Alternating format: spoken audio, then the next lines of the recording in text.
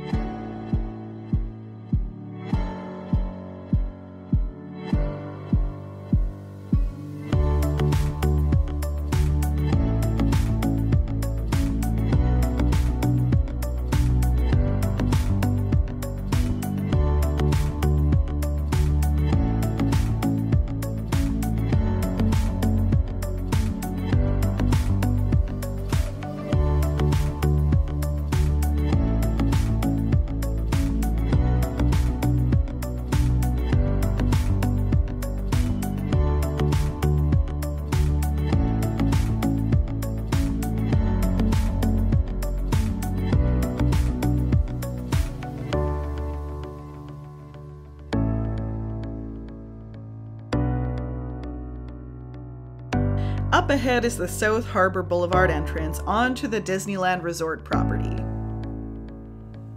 At an average pace, this took us just under five minutes. The security checkpoint is up ahead with Disneyland on the right and California Adventure on the left. If you're taking a hotel shuttle or an Uber or Lyft, this is the same entrance that you'll be using. I'm Julia, and this has been another Honest Hotel Review.